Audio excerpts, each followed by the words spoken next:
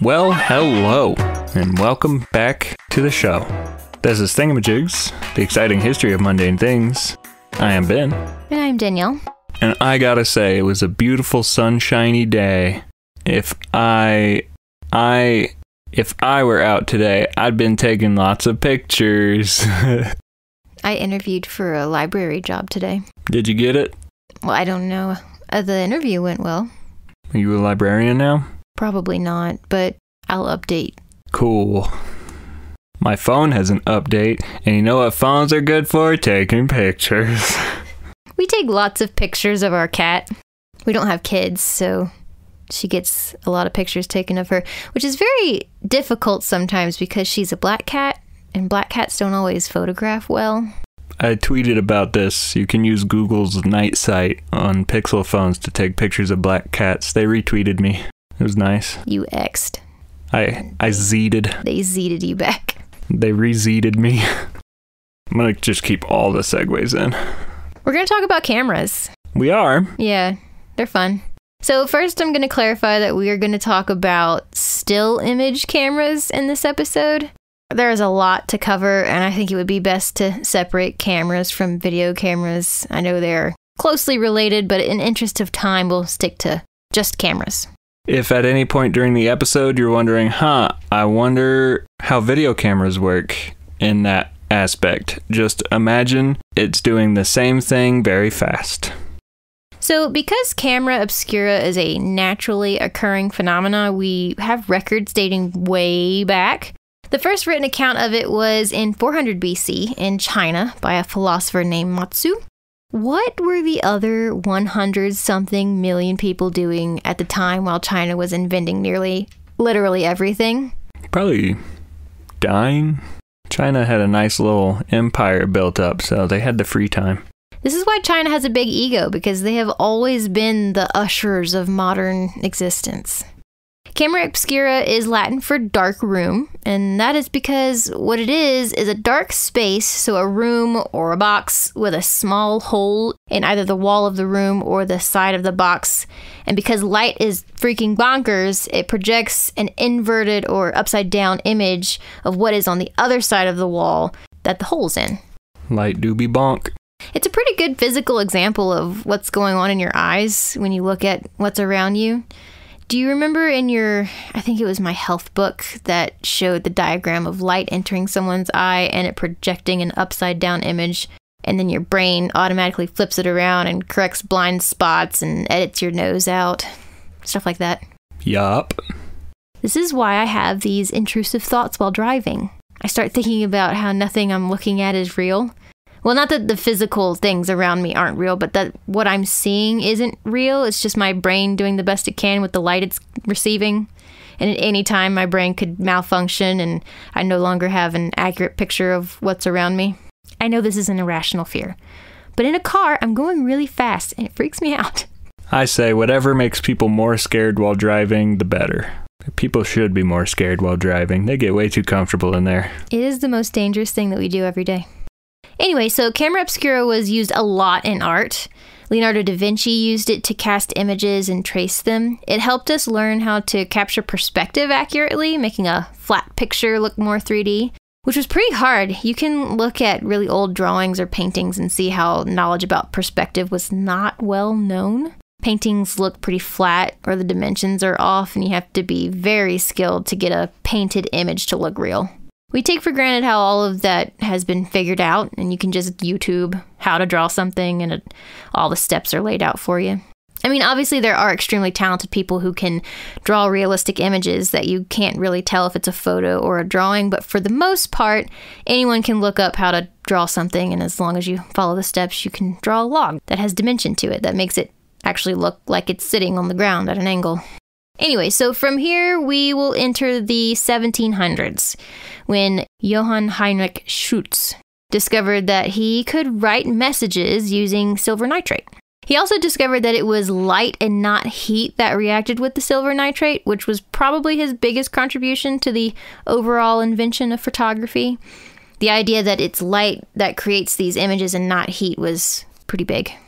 He did this experiment with stencils that covered glass bottles filled with chalk and silver nitrate. I couldn't find what he wrote, just that it was text. So I guess we could just fill in the blank with something funny. Probably wrote boobs. Just a bunch of bottles that said boobs. Mm-hmm. Some boobs and butts. Pee pee poo poo. Like it's fourth grade. Revolutionary. But the effects of silver nitrate is not permanent, so the words or any image he was able to create did not last. At the clinic, we used to use silver nitrate sticks to cauterize like toenails whenever we would clip them and if we got too close to the quick. And you could always tell who had been working on nail trims because their hands would be covered in like this dark color in the afternoon. I mean, it eventually faded, obviously, but whenever you were actually doing it, it didn't show up until later in the day. It was quite fun. How interesting. Now we enter the 1800s. This is when the real birth of the camera begins. Somewhere between 1814 and 1816, Joseph Nicéphore Niepce creates the first photograph, and the way he did this was with a light sensitive material called bitumen of Judea or asphalt of Syria. He cast the camera obscura onto this solution. It was like a semi solid oil and it took like eight hours, but the image remained even after the camera obscura had been closed, so that was a big deal. When you look at the picture, because you can still find it, it's displayed in a museum and it's actually on a piece of pewter. But you'll notice that one, it's very blurry. And two, because it took so long to to take, the light shines in multiple places. So the image is being taken out of a window and it's of what looks like maybe a courtyard. It has a side of a building on one side of the picture and another side of a building on the other side, and light is hitting both sides at the same time. So light is being cast both right and left. At the time, they weren't really concerned with anything other than we can create a permanent copy. So it didn't bother them too terribly much that the time it took to take the picture really limited what they could capture people can't sit hours and hours for what is already going to be a really fuzzy picture. But again, just using light to create a permanent copy of an image was huge. Obviously, he was very excited about this and shares it with his friend and will be partner Louis Daguerre. I know him which was probably very good because he died in like 1833 at 68 years old.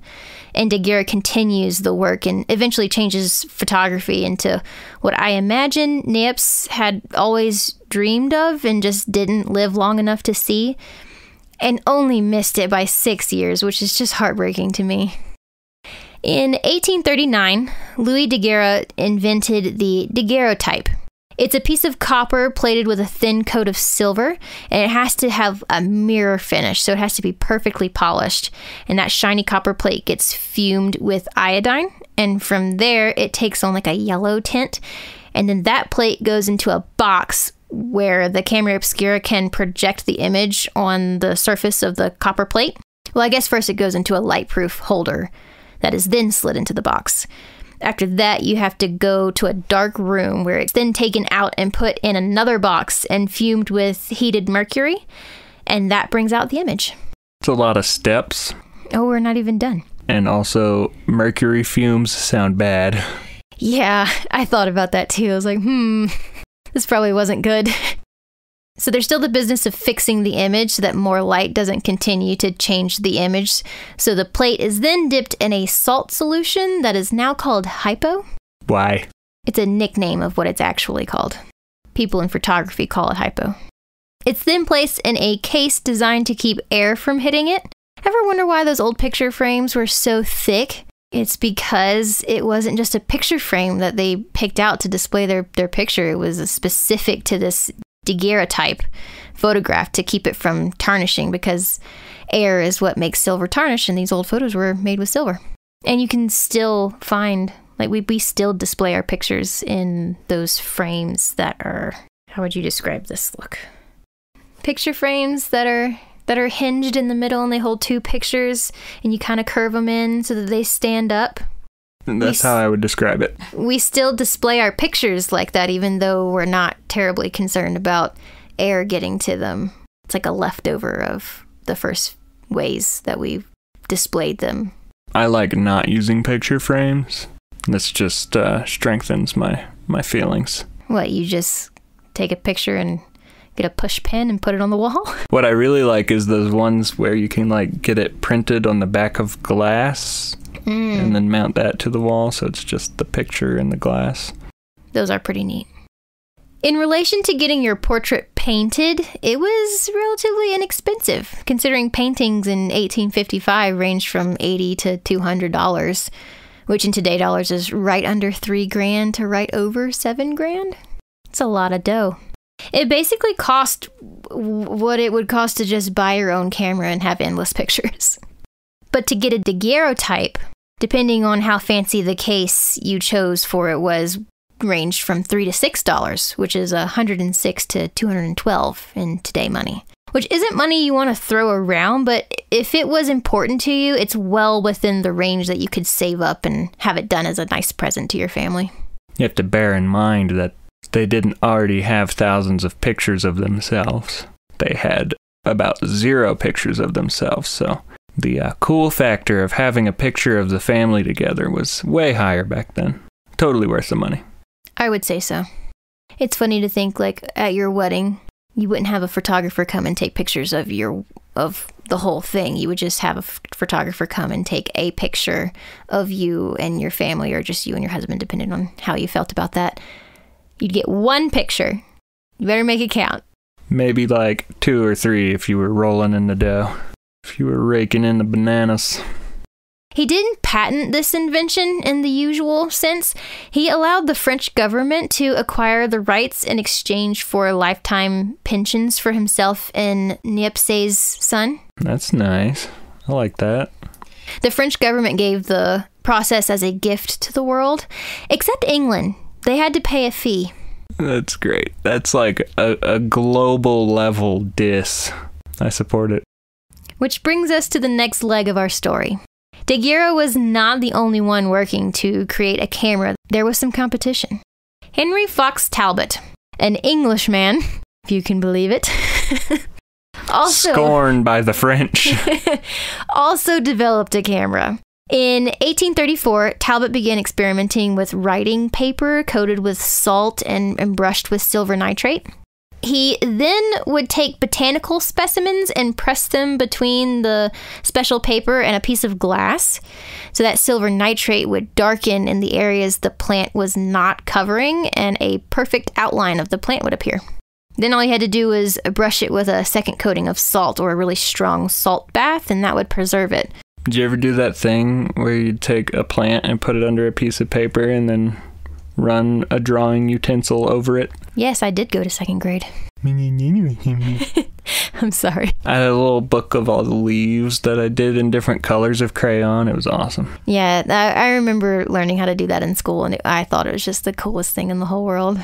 Especially since we didn't have in Louisiana, we didn't have fall colors, so you could go out and get leaves and do that with fall colors, and then you would have fun fall leaves. I forgot about that. You're welcome. After that success, he moved on to camera obscura images, where he placed small cameras with large lenses to capture pictures around his house, and he succeeded in capturing miniature negative images. I believe his wife called them mousetraps. I don't know why. One of the main things he changed during his time experimenting with this is he switched to silver iodide, which is something that Daguerre was doing. Now, this man is quite privileged. He has generational wealth. He went to Italy for his honeymoon. He has lots of hobbies and interests, and he kind of just left this one alone for a while. He decided, I'll, I'll pick this up and work on it some more later. I'm guessing something else came along and grabbed his interest at the time. I can relate. Yeah, I've I've watched you do the exact same thing. that is until 1839 rolls around and he gets word about the daguerreotype.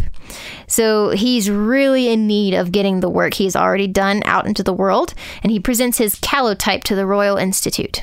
Very original name. Why did they all end in type? I don't understand. Uh, because type meant something different.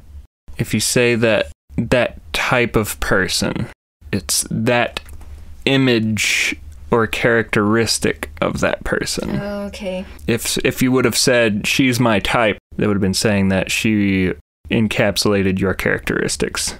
I think we got it. It changed the way it is now because of typewriters. Typewriter, oh. because it would imprint an image of a letter. So calotype in images were negatives, unlike the daguerreotype, and also they were a bit blurrier. But his invention required less exposure time, and he could create mini copies of photos taken from the negatives. But his invention was never as popular as the daguerreotype.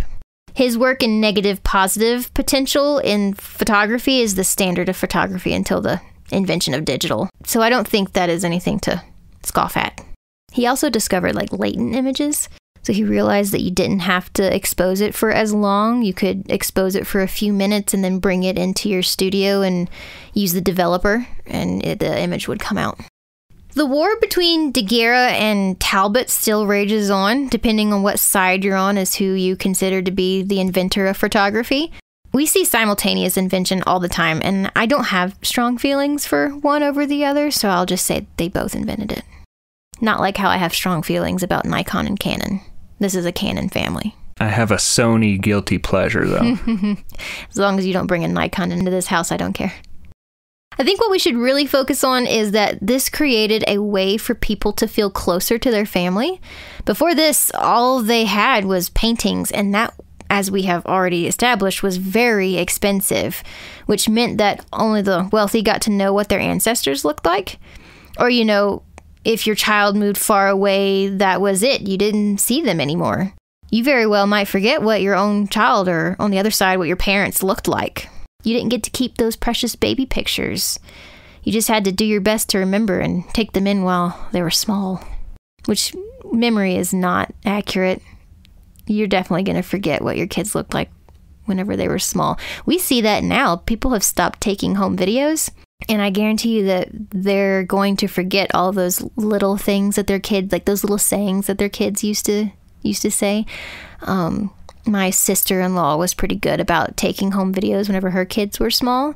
And now she goes back and looks at those videos from the early 2000s and remembers, oh, I remember when when he used to say Paschetti or whatever it was that he would say. Yeah, I find it kind of funny and sad how people still take pictures of everything, but they don't actually keep them. They kind of just fill up their phone until they drop it in the toilet and they weren't paying for iCloud, so they just lose them all anyway. We've been really good about taking home videos lately. I think it's interesting that people take videos all the time, but they're really short because we take videos for other people now instead of for ourselves. What is the public going to find interesting about me and not what do I want to remember about my life in this moment? Yeah, if I still had my three hour VHSs of uh, the home videos my parents took, I would totally still watch them all straight through. Mm-hmm. The more video, the better. I wish we would have had more video of our wedding. We got some video, but it really, this was before we were conscious about taking home videos. So I really wish we would have taken more video with your phone of, of that day. Mm, yeah, I reckon I could have done that. We didn't know. We were young. Well, we were planning on other people recording, and no one did. they didn't think we'd make it. We got a few videos, mostly of the ceremony, which really, I don't know, I would have liked more candid video of the reception and people having fun and being casual and being right. themselves. Oh well, we'll just have to get married again to each other. A, we could have a divorce ceremony where we have our last dance. Yeah. Do we get married again after that? I mean, if you want to, but like. Eh. After this, we need to talk about what our last dance song will be. so, this changed so much for the whole world. We finally get to see what grandma looked like when she was our age, or, or not even that far back. We get to see what our parents looked like at our age. When they were still beautiful. They're still beautiful, they're just older. We get to see people we're related to for the first time that we would have never really even known without stories being passed down.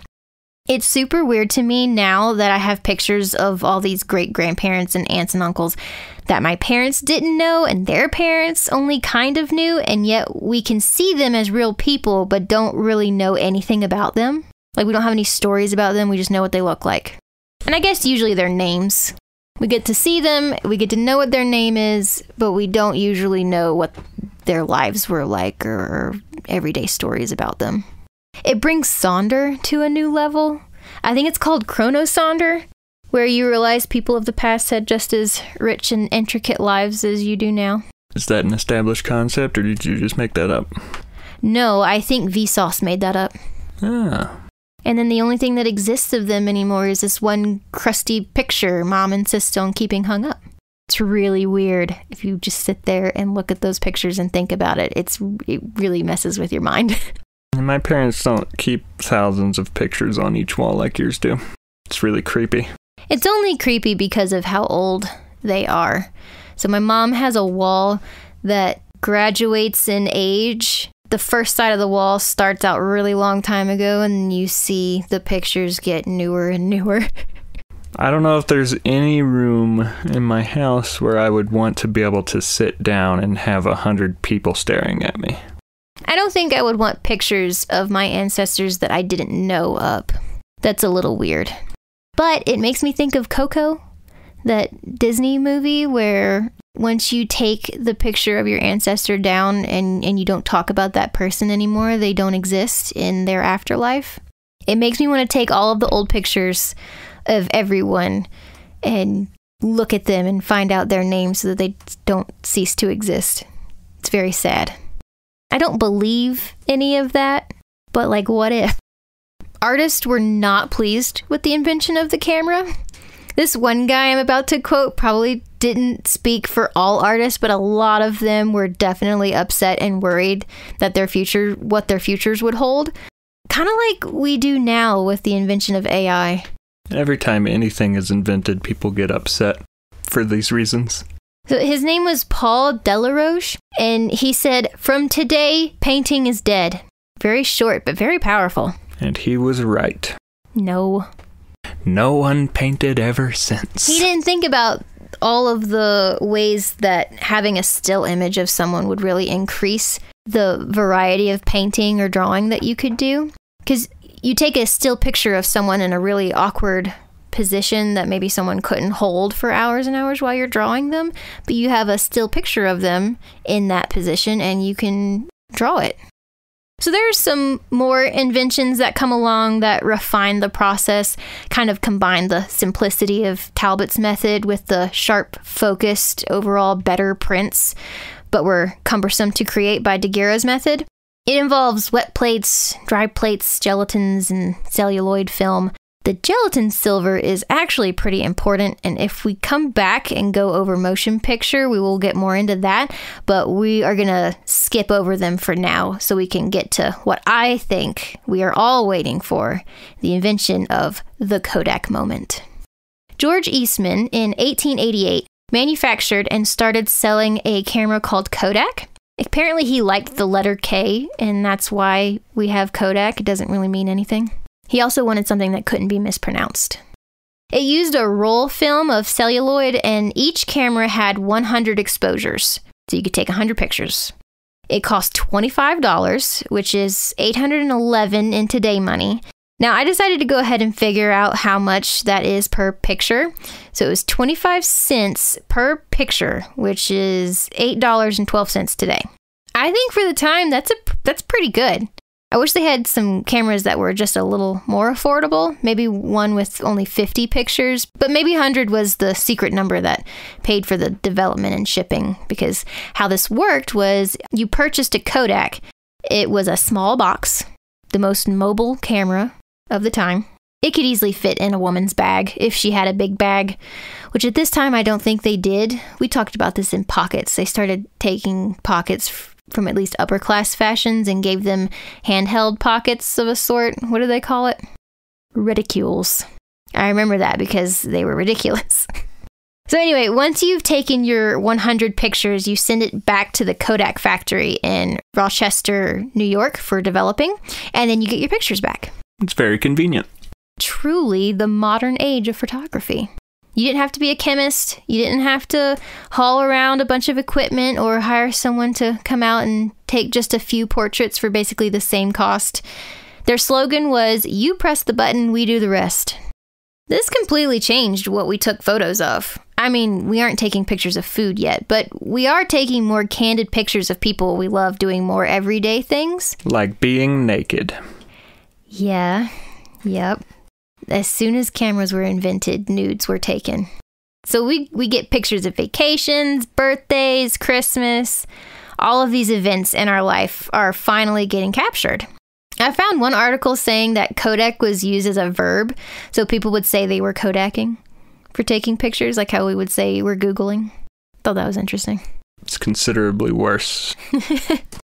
By 1900, Kodak came out with another model called the Brownie, which was even simpler and more affordable, and also had a hilarious name. Was it brown? I believe it was. Bravo. Eh, it might have been considered gray. If your brownies are gray, you probably don't want to eat them. And if your brownies are a camera, you probably don't want to eat them. I think some of them were brown. I don't think this is why they named it that, though. I don't know why they named it that, but I can't imagine it was just because of the color. My God, did Eastman make a lot of money. He became one of the richest men in the US, and he still has a recognizable brand 136 years later. Not too shabby. And they stayed at the top of the leaderboard with innovation. We aren't going to get into digital cameras, but Kodak was the first to create the digital camera in 1975, which wasn't very good, but they were technically the first. And that's a pretty good head start considering the first digital camera to be commercially sold wouldn't hit the market until like 1989, 1990. Now for my favorite part of this episode the first instant camera, the Polaroid. It was released in 1948. It didn't require developing or printing in a secondary location, it was immediate. You take the picture and bam, you have the picture. You can give it to your friends to take home. When we were in New York visiting our German friends, we brought our Polaroid and took a lot of pictures and were able to send some with them because they were immediate. It was very cool.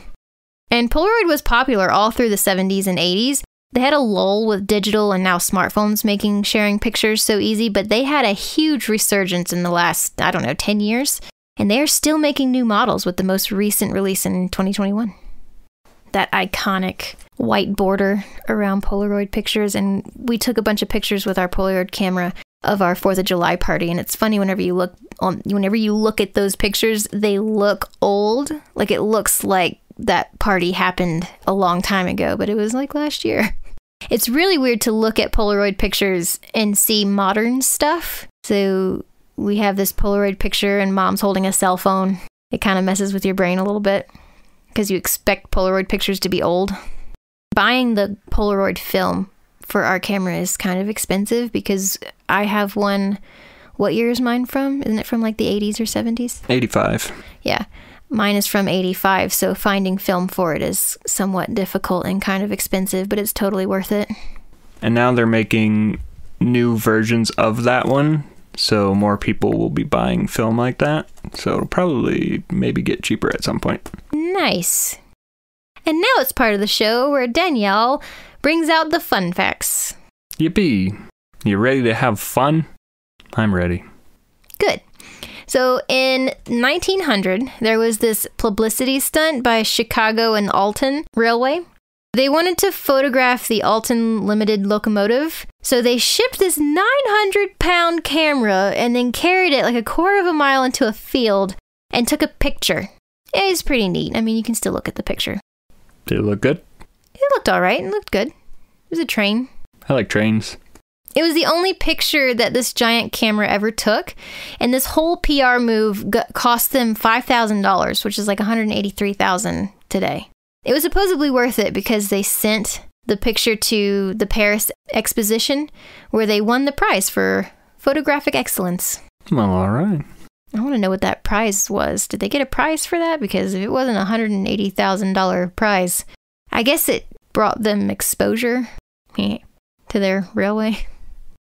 It was fairly common when a family member died to have family portraits taken with that deceased person to preserve the memory. No. Yes. They, they wanted a picture of them all together, and a lot of the ones I saw were of children. Being a child in the olden times was very dangerous and difficult. If you made it out of childhood, you were golden. It's incredible how, even in black and white and with most of their eyes open, you can tell immediately which person is dead. I highly encourage everyone to look this up. Nah. I get it. Like, you didn't know that they were going to die and you wanted to remember what they looked like, so call George, get to come over with his camera, and we'll all dress up. And they dressed up the body as well, and usually like did their hair and and, and then they all took a picture together. There are 12 cameras just hanging out on the moon. So when we went to the moon in 1969, we brought cameras and got some of those iconic images we know today. You think I'd remember a thing like going to the moon? Well, we did. I meant we as in uh, America. Humanity. What are these cameras hanging out on the moon for? What Well- are they doing to pass the time? They wanted to take rock samples back, and all the weight in spaceships is accounted for to, to save fuel and whatnot. So they took the film from the cameras and kicked the cameras out to make weight for the rocks. I bet if we went back to the moon and picked up those cameras, they would be worth a lot. We need to do the math and see if they're worth enough to go back for. Would there be a profit there? How many did you Probably say not. there were? 12. I think I think it'd be worth it. You think so? Uh, yeah. Space travel is very expensive. I mean, it's getting cheaper every day, but still, I don't. I mean, how much is someone willing to pay for a camera from the moon? In total, it costs like ten million dollars to launch a Starship rocket. So if you get one of those to the moon and we chip in, and we chip in like a million dollars to have them retrieve those cameras for us, It's a $2 million profit. yeah, something like that. There you go, NASA. That's our idea. We would like a cut. If you do it and don't give us any money, we will sue. So we didn't talk about this much, but you know how in old pictures people usually aren't smiling? It's because of long exposure. You know, you wanted to be perfectly still. So holding a smile, if someone couldn't hold a smile for that long, then they would have messed up the picture. They also had these head rest things that braced up your head so that you would be still, which I don't know. I feel like people could have been still without that, but I wasn't. I wasn't there. I don't know. But there's this one picture of a Chinese man holding a bowl of rice and he has a giant smile on his face. And it's really weird because pictures from the early 1900s mostly did not see people smiling like that. So there was a lot of controversy on whether this picture was real or not. And it is absolutely real. And I kind of wonder how long he had to sit there with that expression holding his bowl of rice with his chopsticks. It looks really good. He was probably dead. That's how they did it. Like I said, you can tell immediately which person is dead in those pictures. That guy was alive. He had a really good mortician. So, this next fun fact is not true anymore, but at one point, the most liked picture on Instagram was a picture of a brown egg. Now, as of January 2024, it's a picture of Lionel Messi, some soccer player from the World Cup, or I guess I should say football player. Nah, this is being recorded in America. It's soccer. I know Lionel Messi. That's so weird. Why did we all decide to make a picture of an egg the most liked picture on Instagram? I recall the egg incident. Uh, somebody wanted to have the most liked picture on Instagram, so he posted a picture of an egg and said, "Hey, everybody like this picture, so it's the most liked picture on Instagram." And we did We should try that again with another weird object. something cool like a glockenspiel. There are about 5 billion pictures taken every day, and 95 million of those are uploaded to Instagram. And most of those are by 18 to 34 year olds. It's a lot of pictures, especially considering there's like this unspoken rule that you can't upload more than one picture to Instagram a day. It's a lot. It's a lot of people out there, it turns out. What is believed to be the most viewed photograph in history is that classic Windows screensaver. It's called Bliss, but I think we would all know it better as the picture with the green hill and the really blue sky. It was taken by Charles O'Rear in 1996 in California. It's iconic. So- Beautiful photo. If you ever wondered where that green hill was from, it's from Sedona, California. It was eventually all replaced with a vineyard, and it came back since then. It's just kind of green again, but it's. It, I don't think it'll ever look like that again. It was perfect. And that is why taking pictures is so important. There's this one guy doing the longest time lapse, and it's still going on. I don't think it's going to end until 2045, but it's of the New York skyline. And he's it's going to be a 30 year project, and he wants to be able to see the evolution, I guess, of the city. Buildings being built and taken down, and sunrises and stuff like that. I think it'll be pretty interesting whenever it ends. I have a PSA. Take more home videos, Your future selves will thank you for it. and possibly your children, if you ever find someone that'll have kids with you. Or if you decide to have kids. There are apps that will put little timestamps and dates on your uh, pictures and videos. It's always nice to have. Date everything. You will not remember what time frame that video or picture is from. Please write the date on it and people's names. You will be surprised how many people's names you will not remember in the next 30 years. You think you'll remember these things, but you won't. Also, maybe have a computer with a nice, reliable hard drive or SSD to transfer those pictures to every once in a while so that you can keep them forever. especially really special ones. In fact, every picture is special because you don't ever know what's going to happen in life. If you really love that painted pumpkin that you did in 2015, take a picture of it. Better yet, hold you hold the pumpkin in the and you're in the picture and then it'll matter even more to you. There's a lot of pictures. We were going through all of my grandma's pictures organizing them for her, and there were a lot of pictures of landscape and people just don't care about those as much as the ones that have people in them. People is what makes pictures special. The key to keeping digital photos and videos around is redundancy. Put them on, on multiple drives if you can. Store it in separate locations in case your house burns down. Put them on a flash drive and then stick that flash drive in a fire case. That being said, not everything needs a picture and a video. No one cares about that concert you went to that one time. Two pictures. Take one picture of whatever you went to see, and then take one picture of you and whoever you went with. Yeah, two pictures max. That's the rule. That's only whenever you're sharing them with other people. Again, you need to be taking these pictures and videos for yourself. No, I assure you that you will not care that you went to see a Dave Matthews cover band. I have video from the Nako concert and I adore going back and watching those videos. It was so much fun. I have some from the Yung Gravy concert too, and oh my goodness, is he so pretty. Yeah, you're not going to care about either of those in a couple of years. I disagree. Maybe not about the Yung Gravy one, but I think I'll still really enjoy um, watching the Nako concert. There was this one guy really getting down on that violin, and oh my goodness, he's so good. Some people have film just knocking about. Maybe you should go get that developed. That could be fun. Walgreens. Walgreens does that. CVS. There's places. If you have old reel to reels or if you have old VHSs, there are companies that you can send all of that to, and then they will digitize it and send you back copies. You should really get that done because those things are not going to last forever, and finding a VHS player is really difficult. Well, thank you so much for listening to this episode of Thingamajigs and another exciting history of a mundane thing. Don't forget to grab a goose. And bring back leaf rubbing. That was fun. What is that? Don't do that. Don't. They didn't ask for that. No, it's when you take That's disgusting. and you put your crayon over it and you make fun. Thanks for listening. Nah.